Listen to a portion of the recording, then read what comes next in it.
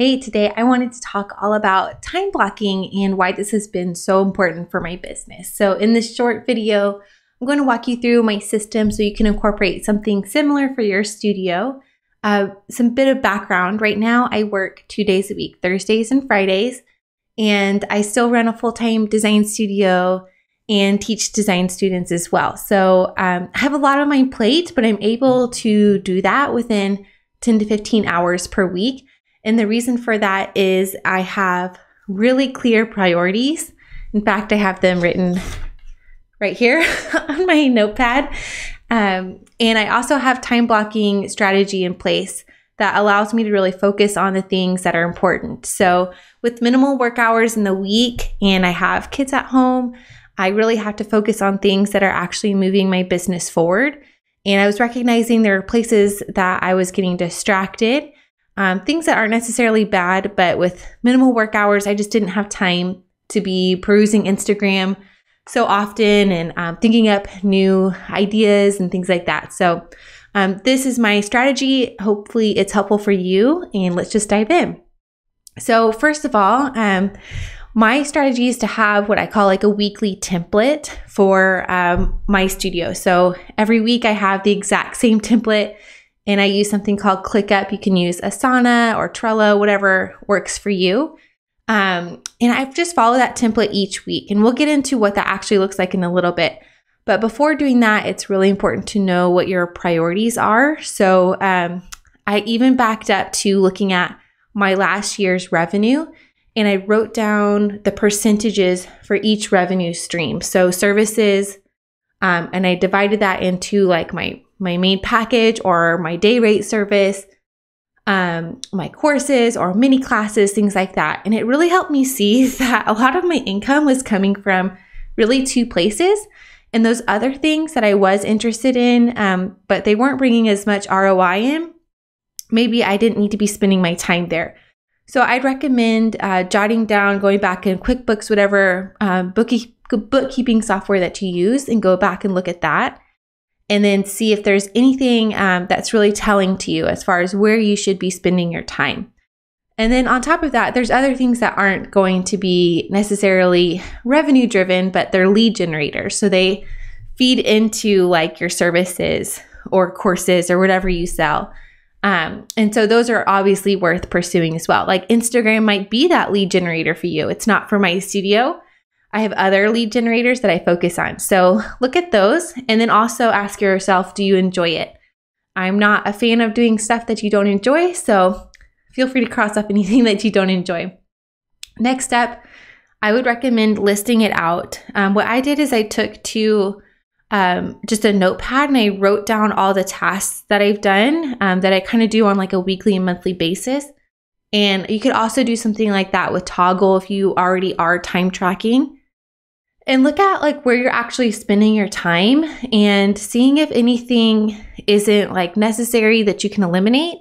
If there's anything that you can delegate. If there's something you don't enjoy definitely cross that off or delegate it. And then next to anything that's left i would put if it's like a daily weekly or monthly task. So for instance maybe design work for clients you do um, daily. Maybe uh, updating your site you do monthly things like that. So write down a long list, cross off anything you don't want to do, or you can eliminate or delegate. Anything left, you need to assign it to daily, weekly, or monthly. So from there, we're going to schedule it out. Um, this is where those time blocking templates come in handy. Um, what I do is is kind of like a loose structure. Is I have um, a, what I call like my first priority of the day, and then a second priority of the day.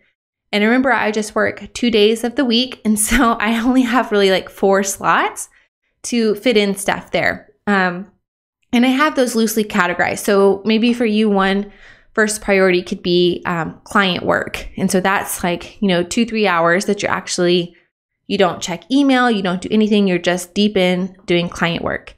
And maybe another priority for you is um, marketing. And so that's another two hour, three hour chunk of your day where you're actually working on blog posts, podcasts, um, connecting with other designers or referrals or something like that. um, just look into what your main priorities are and see if you can come up with buckets that you can put into like your first and second priority of the day. Um, and then from there, I have an email time blocking section that's only 30 minutes long. And I have that twice a day. So this has really helped me. And I, I can't say I've definitely kicked the habit of checking email constantly, um, but I have a scheduled time where I will go in and that's when I check email and respond to it. And I'm actually shocked sometimes that I don't have as many emails as I would think as you would think, uh, because I used to just check email constantly, you know, just out of habit, have the tabs open or something like that. So having an actual scheduled time to check email has been really helpful for me in my productivity and making sure that I'm doing my other priorities as well. Um, another important note is that I actually do like the first priority of the day before checking the email. And that's really helpful for me to not get lost into um, like reactive mode. So if something comes in my email, sometimes I want to get to it right away, you know, archive it, move on, um, respond to that person, do the task, whatever is needed. Um, but actually, doing the first priority of the day helps me get something done that's prioritized my business and then getting to email. Um, and I would just say that, you know, CEOs of other companies I doubt that they're logging into their email first thing in the morning, checking what's there and letting that dictate their day. Likely they have kind of a schedule to follow. And so that's been really helpful for me in like shifting how um, my go to is, which is checking all the time, to really scheduling in those times. It, it really takes a lot of discipline. Um, and then next up is scheduling in those monthly tasks. So things like website updates, um, all that kind of stuff. So you can go in and schedule in those tasks. And I like to use ClickUp for that as well. So um, I'm going to just walk you through an example of my uh, time blocking template here. Okay, so here we are in ClickUp, and this is an example of one of my days that I have time blocked. So this is a design day. So first up, I have just kind of project management for that design day for an hour and checking in with my designer and client and overseeing that creative direction and project management.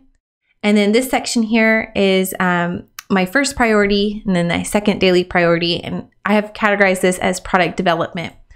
So I'm off today. I'm not doing that right now, but um, I have in here ongoing list. So this is what I do once I add, once I have new items on my to-do list, I go into which priority task they fall into and I just put them in there. And then I have this ongoing list here. So this repeats, it's recurring every single week on Friday. And then on Thursday, oh, everything's already checked off from there. I have my first priority, which is client work and stuff like that. And I have the ongoing list in there as well. And then check in again with Slack and Basecamp. Uh, check email here. This is an hour block. And then lunch. And then my second daily priority. And this is more of the um, like self promotion type of category which is sometimes I have continue first priority if I didn't finish something there. And then I have website updates, and then I have those listed here of things I want to update. So this is really helpful for me to have these buckets. And so I don't have like an ongoing list somewhere else. It really helps categorize it and prioritize it. And then um, invoice clients, update QuickBooks, set the priority list on Basecamp for one of our design day clients, check email at the very end of the day, and then leave office. And then let me go to next week is the same type of structure here. Looks like I forgot to check off something. Um, email, I think. But anyways, you can see that there's kind of the same type of structure here. our Second daily priority, first priority. Uh, a lot of the similar stuff in each of the days. Um, but that's about it. In ClickUp, you can do this really easy. You can do this in Google Calendars or Asana. Um, each of these are recurring. So I just log in um, each of my work days and I can just click on whatever is there. So I have a list of things to do. So right now I'm doing tons of course updates. Uh, so that's what's there right now. All right, and there you have it for my really simple and minimal time blocking method that's allowed me to work 10 to 15 hours a week and still run a uh, profitable design studio. Um, I really like this method because it helps me stay productive. It gives me clarity on those priorities. It allows me margin, like you had that whole section on there for website updates or um, product development. If you're like me, like doing new products and things like that, um, I build that into my schedule so it's not back to back client work. And then it really simplifies my schedule and work. So, uh, hope you enjoyed this, and I will see you next week.